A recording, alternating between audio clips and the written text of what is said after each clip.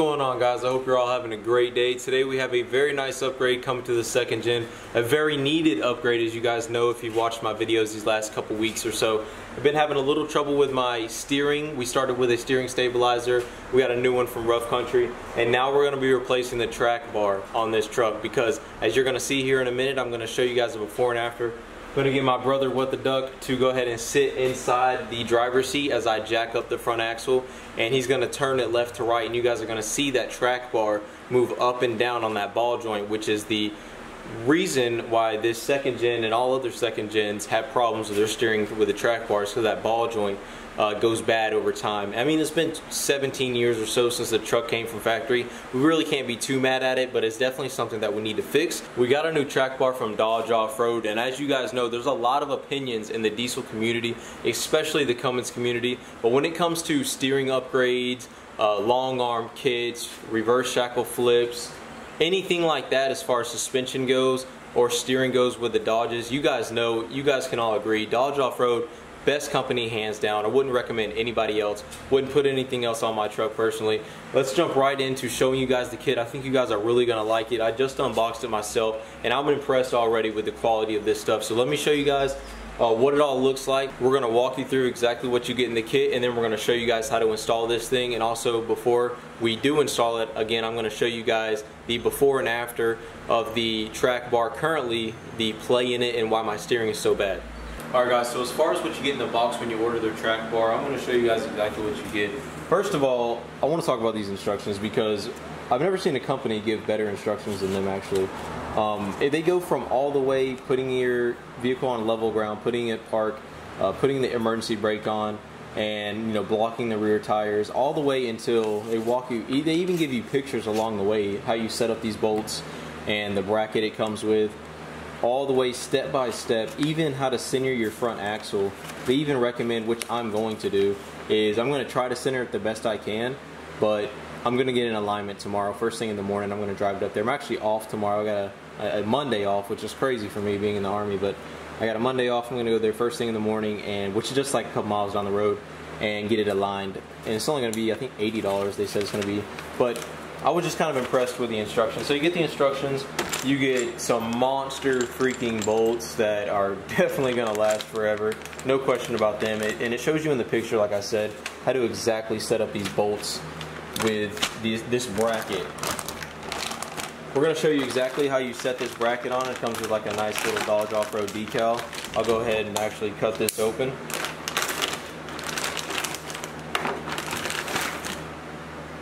Gives you a nice black durable finish on it. So it's going to look really nice under there.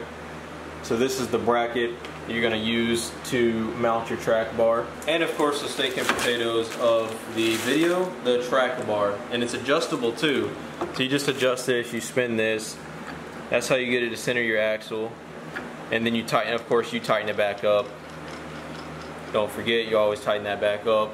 We'll get into all that, but that's how you adjust it. That's how it is adjustable if you do have like a two and a half inch leveling kit or something like that on your truck, which I have. So my axle currently is, I don't think it's completely center, uh, which definitely isn't help, and then it's adjustable on this side as well. So it's black, heavy duty. I mean, this thing has some weight to it. This thing is definitely well built, and it eliminates the ball joint. So up here eliminates the ball joint and you see the your little grease points right here which we're gonna have to grease this up as soon as we get done installing it. Uh, I don't see a grease fitting on this side. I wish you guys could feel this. This is very high quality stuff. So that's what you get. It's pretty self-explanatory pretty simple. We're going to show you guys step by step how to install this thing today. It's definitely worth doing it yourself if you have you know just regular tools like a jack stand blocks for your tires and just the regular sockets that you need um, anybody can pretty much do this. Don't go to a shop and get this done because they're going to charge you like four hours of labor or something crazy like that. So we're going to get started taking the old track. Actually, before we do that, uh, I'm going to jack up the front axle. My brother's going to get in the truck and I'm going to record from underneath him turning the steering wheel and then we're going to see exactly before and after the differences. Alright guys, so rather than getting underneath the truck, jacking up the front end and showing you guys that way, we're actually going to do a road test. I think that's going to give you a better perspective of what's going on and the problems I'm having. So my brother is going to have the camera. You can already tell as I'm sitting here talking to you. Um, the truck doesn't steer straight going down the road. Uh, veers off to the right. I mean, you can see the play I have in my steering. Look at this. I mean, I'm going straight down the road. See the play I have in the steering? It's not tight at all. And when I was at the alignment shop a couple not even a couple weeks ago, maybe like a week and a half ago, they jacked it up, you know, showed me the whole thing. They told me they couldn't give me an alignment because the track bar was so bad and the alignment wasn't going to do anything. So they told me I need to replace the track bar, then go back to them and get an alignment, which is what I'm doing right now. But I figured this road test will show you guys kind of a better perspective of the issues I'm having with this track bar. So we're gonna turn around. Actually, we're gonna, we'll speed up a little bit right here gets to about 55 and then you'll really be able to tell the sloppiness in the steering. So I mean you can probably just see right here I'm trying to keep this thing straight down the road. I mean it's not this isn't the worst Dodge steering in the world. I know probably your guys or maybe some other friends trucks have maybe been worse in the past whenever you went to fix them or something but I want to have my trucks steer straight down the road at all times. I don't want to sit here and and play around my steering like I'm doing right now the whole entire time. So we're gonna turn around up here guys, get back to the house, get this new track bar on, and then I'll tell you guys kind of the before and after, and if it improved my steering or not. Alright guys, so before we get started taking this old track bar off, just a couple safety considerations. We have two 6 ton jack stands on either side with a backup 3 ton jack in the dead center. Also, of course, we have our emergency brake on, and we have a 30 pound dumbbell supporting the rear tire so that it surely does not roll. So those are our safety considerations before doing this job. Safety is always first, of course, when doing anything underneath the truck. So my brother is going to be holding the camera as I take the first two major bolts off so you guys can see exactly where they are. Alright guys, excuse the dirty wheels, I gotta give her a bath, but we're gonna start on this side, is our driver's side when we start this project. The first thing you're gonna need is a little bit of a breaker bar, a 22 millimeter, and some needle nose pliers that you're not gonna drop. And you're gonna take off this little cotter pin inside of here. We went ahead and hit this with WD-40 last night, which is always a good idea when doing anything steering related or brake related, uh, because you know these things can get in there pretty tight. So I'm gonna take this cotter pin out. This is a 22 millimeter castellated nut that I'm gonna take out. Next thing we're gonna do is we're going to grab our 18 millimeter for this side. This is going to be our passenger side. We're going to put it on the bottom end of the track bar and we're going to take this off. Again, we hit this with WD-40 last night. We're going to hit it with the breaker bar, take this old track bar off, and then check back with you here in a minute. Alright guys, so we just got the track bar off, the original track bar. It was a lot easier than I thought it was going to get off, honestly. It's just that 18 millimeter bolt on that side. We're also using our air gun, which I mean helps a lot, but you don't need one, but it makes it a lot faster. Um, the 18 mil on that side, very easy. Just need like a two foot breaker bar or so, and just you know give it a little umph. And this has been on there since factory, so as long as you spray the night before WD-40 or PB Blast, you should be fine. Uh, same thing with this castellated nut. I'll show you guys right here. This cotter pin I mean, that's pretty much what's left of that cotter pin. Not really anything, but you're not gonna reuse this anyway, so it doesn't really matter as long as you get it out. You just need those needle nose pliers. Cotter pin right here, 22 mil on that side. And then the brake line bolt, 13 millimeter. And I believe we're gonna have to reuse this. I'm not for sure, I will let you guys know, but you know, of course you're gonna keep it anyway for the time being. And if we are gonna have to reuse that, I'm gonna get a wire brush, clean it up a little bit, so what we're going to do right now is figure out where all of our bolts go to our bracket that holds our track bar. So we're going to look at our pictures provided by Dodge Off-Road. We're going to figure out where all these bolts go and then check back with you here in a minute. Alright guys, you ever had a project that actually went together smooth, knock on wood, but this one has so far went together really nice. This bracket, now the brake line is up here, you're not really going to be able to tell, but if you're sitting where exactly where I'm sitting, you're going to see this brake line that runs along this subframe and it's a 13 millimeter in size. That is where your brake line is gonna connect to this bracket that holds your track bar. Now this is a 24 millimeter in size bolt. It's a hefty bolt. that you just have to have one buddy hit it with the socket up top and you hold it down here with like a box end wrench or something just to, or a socket just to get it to sit still we hit it with the air gun it, it's all real firm it's real strong there's no moving this thing. And then I believe this one was a 19 millimeter. I think it was a 19 millimeter actually that uh, this this one closer to the decal if you will of the bracket was in size. And then for this one um, we hit it with the air from the bottom and then we went up top atop the subframe. It's the longer bolt that was in that uh, bag that we showed you guys. This is the longer bolt of the two or of the four and it goes in from the top and the nut goes on the bottom and the bolt goes the bolt end goes up top. You just feed it through the hole screw the nut in hand tight hit it with the air hold your box end wrench up top. I think that is again a 19 millimeter and then it just goes right on. Now what we're about to do right now is go grab our track bar bring it over here and start adjusting it to where we can put it inside this hole mount it uh, well, we're first to mount it on this end first then this end right here we're to mount it here run it up and adjust it, we're gonna turn it into where we can, you know, hopefully get the axle center and be able to get it close enough to where we can drive it to the alignment shop and get it, you know, professionally aligned. Um, but we're gonna get everything moved over here as far as the track bar is concerned, get it lined up, and then check back with you here in a minute. All right, guys, real quick, one thing I didn't mention when I was beneath the truck was this spacer on the top, that 24 millimeter. It comes with a spacer from Dodge Off-Road, and I ended up not needing the spacer. I'm not sure if they give it to you because maybe lifted, more lifted trucks, maybe a little bit lower trucks need it. I'm not really sure. Uh, depending on the setup you're running, you might need the spacer. But I'm just going to set it aside for now because I don't believe I'm going to need it. Also, before we get underneath the truck, I just wanted to show you guys the track bar really quick again. This side right here is going to go on our driver's side, so it's going to look something like this. This side driver's side, this side is going to be passenger side where your oil or your grease fitting is.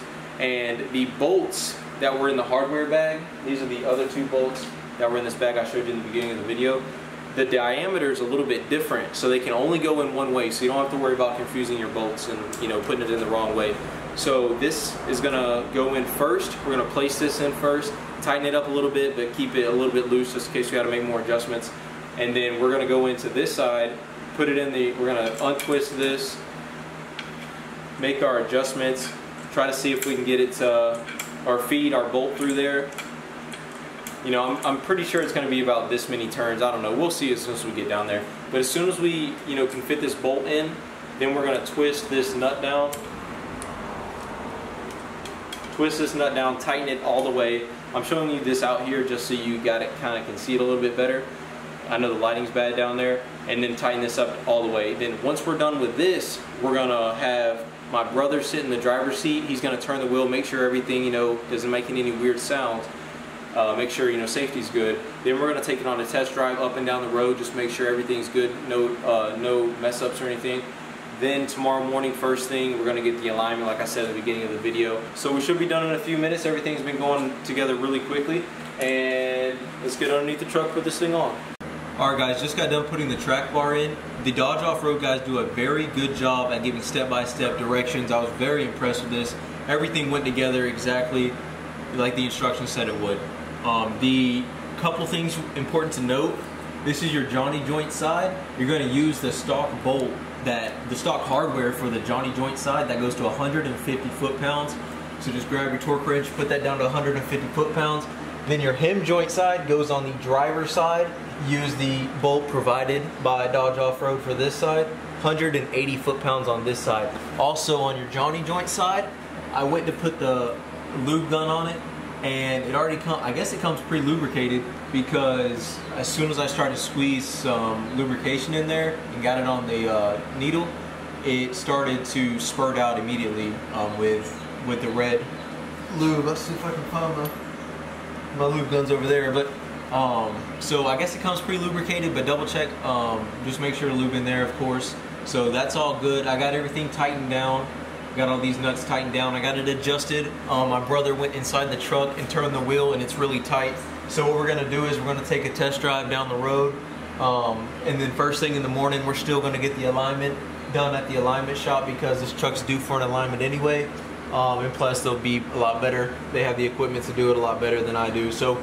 Um, pretty much. I mean, I think this took about maybe an hour and a half to actually, you know, start to finish. And plus, I was recording the entire time, so it'll probably take you even less than that. But the biggest things are go ahead, I'll get out from underneath the truck. The biggest things are WD-40, also with the heim joint, um, it says in the instructions to, you know, you can't lubricate the heim joint, it doesn't have the tab for it, but you can just spray WD-40 on the heim joint to keep it lubricated. Uh, and then you can also buy, I think, uh, a heim joint that you do have uh, the ability to lubricate it. You just have to ask for that extra, I think. Um, but don't quote me on that. But WD-40 for the heim joint side, your normal grease gun for the uh, Johnny joint side. And I'm trying to think if I missed anything. Uh, normal tools, you guys seen all the tools I used. I believe 18 millimeter on that side, again stock hardware, and then 21 millimeter on this side I believe ended up using. So we're gonna wrap this up. We're gonna clean up some tools, take it on a test drive, and then I'll catch back up with you guys here in a minute. All right guys, I'm backing out of the driveway right now and I can tell you at low speeds, idle speeds, it feels great. It feels like it's a brand new truck, honestly. I am very surprised at the noticeable difference. Now, we're gonna be able to tell obviously when we hit 45 on this road, but I'm just giving you guys kind of the real time. I just backed up, first time, no lie, just backed up. This is my first reaction. The dang steering wheel cover's coming apart. Definitely needs an alignment though, look. Definitely needs an alignment. The dang steering wheel sideways, but it's very, look at this, look at this now though, very, very tight, which is what we expected. Now the alignment shop that I'm gonna drive to is like a mile and a half down the road, so it's not gonna be a big deal. So I'm driving around looking all crazy right now, but the point is, oh, I knew this was gonna happen, you guys knew that was gonna happen too. Of course you're gonna need an alignment after this kind of stuff, but uh, the point is it's, it's tight. We're gonna hit about 35, 40 on this road, and then see if we can, you know, still have that tightness in the steering wheel. All right, here's 40 miles an hour. Still very tight. It's shaking the truck. I don't know if it, you, can, you can barely keep the camera still. We're gonna drive down here a little bit more, go up to about 45 and see. I mean, if the steering wheel was, there's a steering straight down the road, it's just slanted. God, it needs an alignment. But I'm so happy to have this new track bar on here. It's gonna last probably the life of the truck, guaranteed. Uh, we're at 45 now. Still very tight in the steering wheel. When I'm turning, actually, when I hit that bump, it felt very smooth too. Kind of helps out with the ride a little bit. I hit that bump and like no sounds were made, nothing. It was very smooth. That's another plus, I guess, of the new track bar. Um, thumbs up for sure for Dodge Off-Road. I definitely suggest their company. They have, you can, I'll put their uh, website in the link down below, probably the first link in the description below. They have all sorts of suspension steering upgrades for these Dodges. They've really figured it out, and the instructions are second to none. I've never had better instructions than that. They actually show pictures of how the bracket's supposed to be set up and how the bracket's supposed to mount underneath too. This road is very bumpy and it's actually, the truck's taking it very well. But I'm going to turn around up here. I'm going to go ahead and end out the video. There was a couple things uh, I wanted to put out, like, um, you know, I know you guys are probably going to comment down below, hey, you need to fix this, you need to fix this. You know, I seen this that was kind of looking a little off when you were underneath kind of thing. It's going to come with time, guys. Like, the things that you saw underneath, there's a couple things that I'm already tracking that, hey, you know, I need to replace this. There's a couple things, you know, we're gonna we're gonna get it replaced. It takes time. You guys know that. It's a build. It doesn't happen overnight. Uh, I just wanted to put that out there uh, before I end out this video. But if you could, please leave a like on this video. It helps so much with the YouTube search results, guys. You know that. Also, if you could, if you have any questions that I can answer, I normally do time lapses and things like that. I know as I'm working on it, but this time uh, the lighting was kind of iffy in the garage underneath the truck, so uh, I'm working on getting better lighting equipment right now so that I can do the time lapse and set it up and it looks really good on this camera. So I'm working on that. I know I normally do time lapses, but I couldn't in this video. But if you have any questions that I can answer on my end, feel free to comment them down below. I respond and look at every single question down below or every single comment. Or if I can't answer it, maybe something about the kit, uh, the link to Dodge Off-Road is going to be down below as well, so you can ask their support team just going through some back roads right now in the woods. Probably gonna hit a deer one of these days. But I'm gonna turn around. Appreciate you guys watching all the way to the end of the video, and I'll see you in the next one.